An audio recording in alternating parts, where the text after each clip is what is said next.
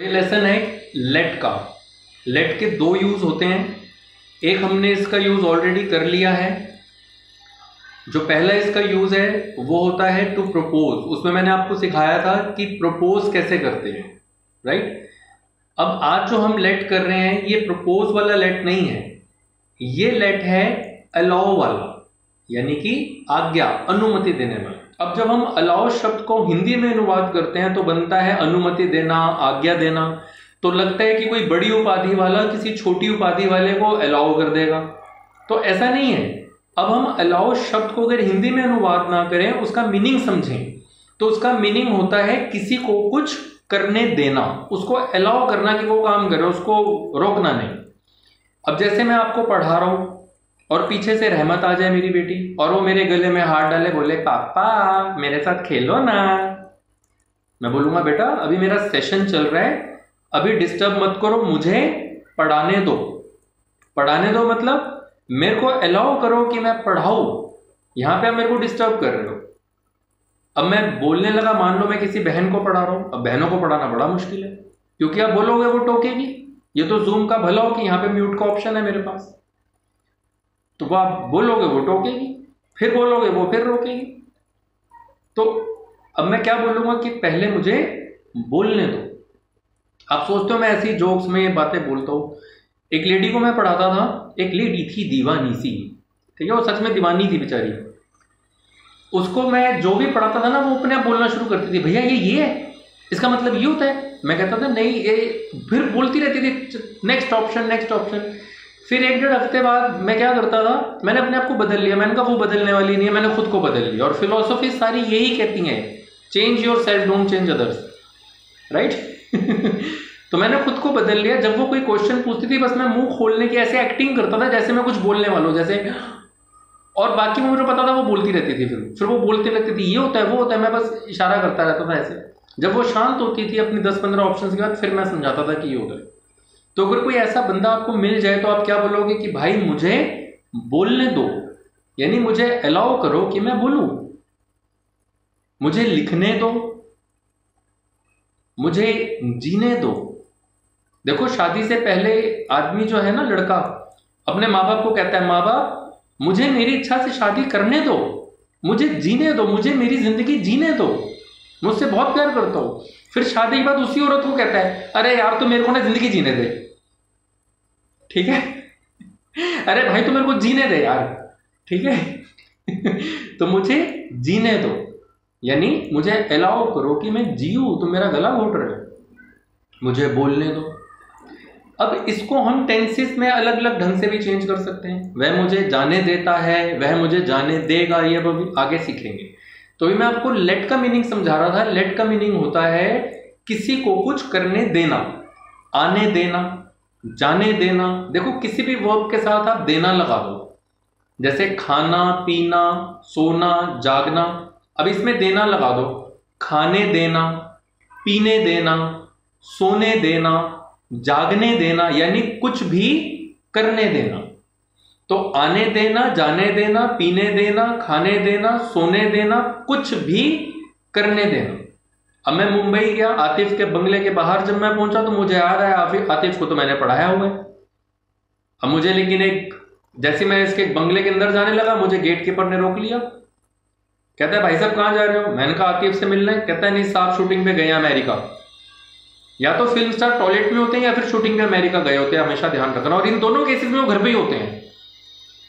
तो अब जैसे उसने मेरे को रोका, मैंने कहा, अरे, तू जानता नहीं, आतिफ मेरा स्टूडेंट है। मैंने आतिफ को फ़ोन मिलाया, मैंने कहा हेलो कहते हैं सर आज बड़े दिनों बाद याद किया। मैंने कहा, और भाई बिज़ी तो नहीं हूँ। कहते हैं, नहीं नहीं सर मैं बिल्कुल फ्री हूँ, घर पे आप बताओ क्या हाल है? मैंने कहा, आतिफ, मैं मुंबई आया हुआ था। कहते सर आप मेरे घर पे आओ ना, आप कहाँ पे हो? ऐसे थोड़ी ना होता है। मैंने कहा, आतिफ, मैं तुम्हारे बंगले के बाहर ही खड़ो वो गेट कीपर जो है, वो मुझे अंदर नहीं आने दे रहा है। यानी वो मुझे अलाउ नहीं कर रहा है कि मैं अंदर आऊँ। कहता सर, अब अमन को फ़ोन दो। अब अमन गेट कीपर था, मैंने अमन को फ़ोन दिया। अमन ने, मैंने कहा, लोग साहब से बात करो। अमन कहते हैं, जी साहब वो कहता है मेरे सर हैं, इनको अंदर आने दो। आने दो मतलब इनको अलाउ करो कि ये अंदर आ जाए। समझ में आया? अब मैं अंदर गया तो इसने बहुत सारी चीज़ें मेरे आगे खाने पीने की रखी, मैं खाना खाने लगा तो इसकी पत्नी बोलने लगी, सर, आप कैसे हो? सर, इन्होंने आपके बड़े में बड़ी बातें बता रखी मैंने कहा, ना, बहनें मतलब खाने नहीं देती, बोलने नहीं देती। अब इसने इशारा किया, कहता है, यार, तुम कैसी बात कर रहे हो? सर, अभी आए हैं बाहर से, वो खा रहे हो, उनको खाने दो, बोलो मत। उनको भी चैन का सांस लेने दो। तो अलाउ करो कि वो खा लें। सो दैट इज़ खाने देना, बोलने देना। बैठने देना, जीने देना, पढ़ाने देना, सोचने देना। जैसे हम बोलते ना, यार, सोचने दे मेरे को। अब वो टोक रहा कहते हैं, यार, सोचने दे, आइडिया सोचने दे। तो सोचने देना। तो ऐसे केसेस में कुछ भी करने देना मीन्स लेट अब लेट का रूल क्या है? लेट का रूल है कि लेट के बाद हम ऑब्जेक्ट लगाते हैं। सेंटेंस का जो ऑब्जेक्ट होगा, वो लेट के बाद आएगा। यानी कि वो व्यक्ति जिसको आप कुछ करने दोगे। जैसे मैंने कहा, मुझे जाने दो तो मुझे ऑब्जेक्ट है। उसे खेलने दो तो उसे ऑब्जेक्ट है, ठीक है? उसके बाद वर्ब की फ़र्स्ट फॉर्म तो let plus object plus first form of the verb इसमें वर्ब की फ़र्स्ट फॉर्म लगानी है। लेट जो है, वो एक वर्ब है, क्रिया है, इसकी फॉर्म से लेट लेट लेट और ये चेंज होगा अकॉर्डिंग टू टेंस जैसा टेंस आएगा, वैसे हम इसको चेंज करेंगे। अभी जो लाइव टेलीकास्ट आपके सामने चल रहा है, उस पर तवज्जो दो कॉपी किताबों को छोड़ दो। समझो बात को, यहाँ पे ध्यान दो। मैं भी पढ़ा रहा हूँ भी आप कॉपी किताब में लगे पढ़े हो जो मैंने पीडीएफ भेजा है। और जब ये क्लास खत्म हो जाएगी तो आप सोचोगे, सर क्या कह रहे थे? अभी मेरे को जी लो, मेरे बाद कॉपी को जी लेना तो इंग्लिश आ जाएगी। ठीक है? तो ध्यान रखो। अब एक एग्जांपल लेते हैं तो मैं आपको बता रहा था कि जो लेट है वो अकॉर्डिंग टू टेंस चेंज होता है। अगर ताव रहा गया तो प्रेजेंट इंडेफिनेट हो गया लेट की फ़र्स्ट फॉर्म लगा देंगे। कंटिन्यूअस आ गया। तो लेटिंग कर देंगे इज़ एम आर के बाद।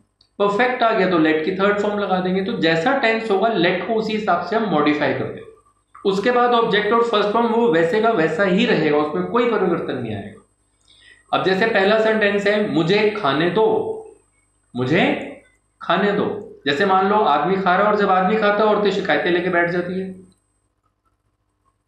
अपने हस्बैंड को जो बहने हैं, यहाँ पे बच्चे भी हैं, ध्यान रखना। मम्मी पापा पता नहीं ये बातें समझाते नहीं समझाते आई डोंट नो पर समझानी ज़रूर चाहिए। लड़कियों को ये पता होना चाहिए, जब हस्बैंड घर पे आए, उससे कोई शिकायतें मत करो, खाने पर बैठे, उसको प्यार से खाना खिलाओ, कोई शिकायतें मत करो, कोई कलेश, कोई मुँह मत सुझाओ। आदमी खाने के लिए पूरी ज़िंदगी पागलों की तरह काम करता है। उसको खाना ही ना ढंग से नसीब हो, वो भी कलेश वाला नसीब हो तो क्या किया फिर उसने ज़िंदगी फिर ऑफ़िस में मिलेगी उसको जो कहेगी, सर, आप सर पकड़ के बैठे हो। एवरीथिंग इज़ ऑल राइट वो बोलेगा, नहीं नहीं, चलो सर लेट्स हैव कॉफ़ी वो कॉफ़ी पीने जाएगा फिर, क्योंकि आप तो कॉफ़ी पे कलेश करते हो। फिर बाहर की कॉफ़ी उसको आदत पड़ जाएगी, अब समझ जाओ आगे की कहानी। क्योंकि इंसान को चाहिए इमोशंस औरतें आती बोलेंगी, मैं ना बहुत सहरी हूँ, मैं अपनी मम्मी के घर पे जा रही हूँ नेक्स्ट संडे को मैं बता रही हूँ, तुम्हारी माँ के ना ताने नहीं मैं सह सकती। और वो बेचारे को खाना खाने दो पहले। खाने के बाद उसको चैन की सांस लेने दो, फिर बात कर लो थोड़ी, वो समझ में आता ऑफ़िस में कितने इंसान आदमी प्रॉब्लम झेलता है? फिर घर पे है, फिर बीवी की झेलता है। तो ये बहनें जो हैं, ये बच्चे जो हैं, लड़कियाँ, ध्यान रखना मेरी बात। जो बच्चे हैं, वो बाप की तरह समझ लो, जो मेरी उम्र के हैं, वो भाई की तरह समझ लो। तो ये बात याद रखना, खाने के टाइम कभी कलेश मत करना, ना ही कभी मुँह सुझाना। प्यार से, मोहब्बत से खाना खिलाना, बहुत हद तक वो कहीं जाएगा नहीं। आपके साथ ही रहेगा। तो अब उसने क्या कहा कि मुझे खाने दो, कलेश लेके बैठ गए तो मुझे खाने दो। तो लेट उसके बाद ऑब्जेक्ट मी फिर वर्ब की first form eat so let me eat ये इंपेरेटिव फॉर्म है, इसलिए हमने लेट से शुरू किया। तो मुझे खाने दो लेट मी ईट मुझे जाने दो। लेट मी गो अब एक बारी मान लो, जसविंदर की लड़ाई हो गई। ऐसा हुआ, मैं तिलक नगर में रहता था पहले, तिलक नगर में। तो वहाँ पे सुबह सुबह पाँच बजे ना एक बिनाइन पहन के सरदार जी थे, वो लड़ रहे। और ऐसा स्केलेटन के ऊपर बिनाइन जैसे चढ़ी होती है, ऐसी उनका शरीर था। मैं भी अपने आप को मोटा फील कर रहा था उनके आगे। और पाँच बजे वो कलेश कर रहे और ऐसे सीना लगाया तुम मैनू इतने मारे फिर उथे मारे मेरे पुत मैं छा नहीं तेन। सुबह पाँच बजे लड़ रहे हो अब मान लो ऐसा आदमी आपके पास आ जाए और बोले कि, कहाँ पे पंगो है, बताओ, मैं चलता हूँ। मुझे उसको पीटने दो। तो लेट मी बीट हिम मुझे जाने दो लेट मी गो मुझे आने दो लेट मी कम मुझे लिखने दो लेट मी राइट जैसे गुस्सा आता है ना कई बार, अब एक बंदा बोल रहा है, दूसरा शांत बैठा हुआ है। अब जो शांत बैठा हो, उसको एक दो बोलेंगे, भाई, तू जवाब क्यों नहीं दे रहा? क्योंकि दुनिया को तमाशे में मज़ा आता है। आप शांत तो आपको शांत नहीं रहने देंगे। कहेंगे, भाई, जवाब दे। तो आगे से कई बार लोग क्या बोलते हैं? अरे, कुत्ते भोंकते हैं, भोंकने दो। ऐसा होता ना? तो भोंकने दो लेट देम बाक उसे कहने दो लेट हिम स्पीक उसे जीने दो लेट हिम लिव उसे रोने दो लेट हिम क्राई मेरी दो चीज़ें हैं जो मैं बड़ा सख्ती से फॉलो करता हूँ। मैं किसी को हँसते हुए नहीं रोकता और मैं किसी को रोते हुए भी नहीं रोकता। कभी चुप नहीं कराता। तो रो। कोई रो रहा होता है मेरी क्लास में, कई बार ऐसे हुआ है। ऑनलाइन में भी हो जाता है कि कोई ऐसी बात चलती है और स्टूडेंट रोने लग जाते हैं, इमोशनल हो जाते हैं। जब ऑफलाइन में होता था, मैंने कभी चुप नहीं कराया। और ऐसे, मैं कहता था, रो लो, और रो लो, खुल जाओ, निकालो। और वो सोचते थे कि सर चुप कराएँगे तो ऐसे, मैं कहता था, रो लो। हैरान होते थे, ये चुप क्यों नहीं करा रहा? आसपास वाले रोकते, मैं ना, हटाओ, रोने दो इसको दो मिनट में अपने आप चुप। मेरे को एक बारी किसी ने फ़ोन पे बात बात करी काउंसलिंग सेशन चल रहा था तो वो बहुत रोई। लेडीज़ होती है मैंने चुप भी नहीं कराया। उसको लगा मेरे को पता नहीं चल रहा। हालाँकि उसके रोने से पहले मैं पता चल चुका था रोने वाली है। अब मैंने चुप नहीं कराया तो उसको लगा, पता नहीं चल रहा। कहती है, सर, मैं बहुत रो रही हूँ इस टाइम मैंने कहा हाँ मुझे मालूम है, मैं चुप नहीं करा रहा रो लो। खुल के रो। जब चुप हो जाओगे, तब बात करेंगे ना। कोई जल्दी नहीं है। उसी टाइम चुप हो गई। तो इमोशन निकलना चाहिए, रोने वाला भी और हंसने वाला भी। कई बार बिना बात पे हँसी आती है। बच्चों को हम कहते हैं बिना बात पे हंस रहे बच्चे कभी बिना बात पे नहीं हँसते। दुनिया का कोई आदमी बिना बात पे नहीं हंसता। वो बच्चे हैं, उनके अपने अलग लॉजिक्स हैं। हमें वो समझा नहीं पाते कि वो हंस क्यों रहे हैं, और हम उनको डांटते हैं, पागल है, बिना बात पे हंस रहा है, चुप। हँसते हुए कोई इंसान चुप कराता है वो कितना अजीब आदमी है। हँसते हुए को चुप कराते हैं। और रोते, जो नहीं रो रहा, उसको कहेंगे तू रो क्यों नहीं रहा? किसी के मरने पे अगर आप जाओ और ना रो तो लोग कहेंगे, इसको तो दुखी ना रो ही नहीं रहा है बड़ी अजीब दुनिया है। और फिर आप रोगे तो वही चुप कराएँगे, कहेंगे, अरे चुप हो जा, सब ठीक हो जाएगा। दुनिया बड़ी पावड़ी कबीर साहब का दोहा। ठीक है? तो भाई, उसे रोने दो। लेट हिम क्राई ठीक है? अब इसको एक नेक्स्ट सेंटेंस में देखते हैं। वह मुझे खाने देगा। फ्यूचर इनडेफिनेट वह मुझे खाने देगा गागे अब अमन चिप्स लेके आया तो नमन ने बोला अमन को कि अमन, सर तेरे को चिप्स नहीं खाने देंगे। अमन कहता है नहीं, वो तो खुद खाते हैं कोल्ड ड्रिंक भी उनके पास। वो खुद भी खाएँगे और मुझे भी खाने देंगे। तो वह मुझे खाने देगा। ही विल गागे की future indefinite he will will के बाद first form let he will let me object and then first form eat he will let me eat वह मुझे खाने देगा। वह मुझे जाने देगा। ही विल लेट मी गो वह मुझे लिखने देगा। He will let me write वह मुझे बोलने देगा। He will let me speak जब रहमत पैदा हुई ना तो डॉक्टर ने कुछ बदतमीजी, ऐसी करी बदतमीजी से बोला। मैंने उसकी एच में कंप्लेंट कर दी। अब जब मैं कंप्लेंट करके आया, उस लेडी को, बहुत सीनियर को, वो पूरे उस डिपार्टमेंट की हेड थी। तो उसको हुआ कि नहीं, मेरा स्टाफ ऐसे नहीं कह सकता। मैंने कहा, मैम, कहा है? आप आइए। अब वो आई जब उसने मेरे को फिर बुलवाया वार्ड में से। तो कहने लगी, सर, ये तो मना कर रहे हैं। मैं मुझे पता था ये औरत है, मैं कुछ समझाऊँगा तो ये बोलेगी बीच में। मेरी बात नहीं होने देगी, इसलिए मैंने उसको बोला, मैंने सिंपल सेंटेंस में बोला, मैंने कहा, ma'am do I have uninterrupted two minutes कहती है यस नो कौन बोलेगा? कहती है यस मैंने बोला, दूसरे सेंटेंस में उसने टोका। मैंने कहा, मैम मैंने आपको कहा था अनइंटरप्टेड टू मिनट्स चुप हो गई वही पे। फिर मैंने बोली अपनी बात। फिर उसके बाद नहीं बोली वो। फिर उसने सॉरी फील किया बाद में।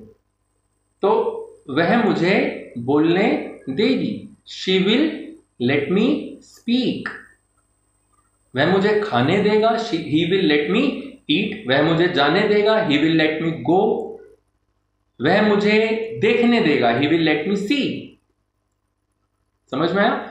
वह मुझे खाने दे रहा है कंटिन्यूअस अब अमन को फ़ोन आया, आतिफ का कहता है, भाई, तू चिप्स लेके क्या था, क्या हुआ? कहता है, मैं तो सर के साथ खा रहा हूँ। वो मुझे खाने दे रहे हैं, मना ही नहीं कर रहे? तो वह मुझे खाने दे रहा है कंटिन्यूअस ही इज़ लेटिंग यहाँ तक प्रेजेंट कंटिन्यूअस है। ही इज़ लेटिंग अब लेट के बाद लेट का रूल चलेगा। Late me eat so he is letting me eat तो let according to tense change होगा। गागेगी के साथ विल लेट रहा है के साथ इज़ एम आर लेटिंग तो let is change according to tense और फिर उसके बाद ऑब्जेक्ट और फ़र्स्ट फॉर्म वैसे ही रहेगा। तो वह मुझे आने दे रहा है ही इज़ लेटिंग मी कम वह मुझे लिखने दे रहा है he is letting me write वह मुझे पीने दे रहा है he is letting me drink वह मुझे खाने दे सकता है। अब सकता है, वह मुझे खाने दे सकता है। He can let me eat can के साथ फ़र्स्ट फॉर्म इसलिए let first form he can let me eat वह मुझे जाने दे सकता है ही कैन लेट मी गो वह मुझे लिखने दे सकता है he can let me write वह मुझे नाचने दे सकता है he can let me dance उसने मुझे खाने दिया था। नेक्स्ट सेंटेंस क्या दिया मैंने आपको? उसने मुझे खाने दिया था। पास परफेक्ट दिया था, लिया था, चुका था, चुके थे। So he had let had के बाद लेट की थर्ड फॉर्म वो लेट ही होती है। सो ही हैड लेट मी ईट आएगी लेट के बाद ऑब्जेक्ट और फ़र्स्ट फॉर्म ही आएगी। ऐसे नहीं पास परफेक्ट है तो लेट के बाद भी थर्ड फॉर्म ईटन लगा दो। नहीं। लेट के बाद ऑब्जेक्ट एंड फ़र्स्ट फॉर्म वो वैसा ही रहेगा। बार बार रिपीट कर लो so that it should enter your mind so उसने मुझे खाने दिया था ही हैड लेट मी ईट उसने मुझे जाने दिया था ही हैड लेट मी गो उसने मुझे लिखने दिया था he had let me write उसने मुझे पीने दिया था he had let me drink समझ में आया? फिर वह मुझे खाने देता है तावरहा अब ये प्रेजेंट इंडेफिनेट हो गया। तावरहा वह मुझे खाने देता है। ही लेट्स मी ईट क्योंकि प्रेजेंट इंडेफिनेट में अगर ही आ जाए तो वर्ब की फ़र्स्ट फॉर्म प्लस एसोलियस ये ध्यान रखना लेट्स एपोस्ट्रॉफी वाला नहीं है ये। क्योंकि ये फ़र्स्ट फॉर्म के साथ एसोलियस है। ही लेट्स मी ईट वह मुझे जाने देता है। ही लेट्स मी गो शादी के बाद ना मेरी वाइफ पूछती थी, जैसे कुछ कहीं पार्लर जाना है वैसे तो वो ज़्यादा जाती नहीं है। या कुछ और भी बात, जैसे वो खरीदना है। मैं कहता हूँ, मेरे से पूछा मत करो। तुम्हें कोई परमिशन की ज़रूरत नहीं है। जस्ट कर लो, ख़त्म करने। मेरे को मत पूछो। मैं कोई कहीं का बादशाह खान नहीं हूँ, या कोई उस्ताद नहीं हूँ मैं, कि मेरी परमिशन की तुम्हें ज़रूरत है। समझ में आया? तो अब वो मान लो उसकी सहेली क्या बोले? कि भाई, तेरे हस्बैंड रोकता नहीं है? वो कहेगी, नहीं, वो मुझे जाने देते हैं। ही लेट्स मी गो वह मुझे खेलने देते हैं। ही लेट्स मी प्ले समझ में तो लेट मतलब कुछ भी करने देना। अब एक बारी पूरा रिवाइज करा दो। लेट मतलब होता है आने देना, जाने देना, खाने देना, पीने देना, यानी कुछ भी करने देना। Let according to tense change होगा। इट इज़ अ वर्ब इसकी फॉर्म्स होती है लेट लेट लेट और लेट के बाद object and then first form of the verb right वह मुझे खाने देता है। ही लेट्स मी ईट वह मुझे खाने दे रहा है। He is letting me eat वह मुझे खाने देगा। ही विल लेट मी ईट उसे मुझे खाने देना चाहिए। ही शुड लेट मी ईट उसे मुझे खाने देना चाहिए था। चाहिए था should have plus third form he should have let me eat वह मुझे खाने दे रहा था। He was letting me eat वह मुझे खाने दे सकता था। He could late me eat वह मुझे, उसने मुझे खाने दिया। He let me eat second form उसने मुझे नहीं खाने दिया। He did not let me eat वह मुझे नहीं खाने देता है। He does not let me eat let जो है वो हेल्पिंग वर्ब नहीं है, वो वर्ब है। अब नेगेटिव सेंटेंस में कई बार लोग क्या करते हैं? ही लेट्स नॉट मी ईट ये गलत है। नॉट का प्रयोग हेल्पिंग वर्ब के बाद होता है तो he does not let me eat अब डज क्यों? क्योंकि ताव रहा। जोन से भी टेंस में होगा, उसी सेंटेंस के हेल्पिंग वर्ब के बाद नॉट लगाना है ठीक है? तो ध्यान रखना है, जब भी ये करने देने वाली सेंस आए, आने देना, जाने देना तो हमने लेट लगाना है। लेट का यहाँ पे मतलब है to allow somebody to do something यानी कि किसी को कुछ करने देना। अब इसको समझना है और इसको अपनी डे टू डे लाइफ में अच्छे से, ध्यान से यूज़ करना अब किसी को कुछ डाउट्स है तो पूछ लो, भाई का हो गए लाइफ खुजली, भाई का हो गए लाइफ क्या? खल्लास हो गए लाइक आप उनकी तरफ़ से ये लेसन है ना, खुजली करके खल्लास हो गए लाइफ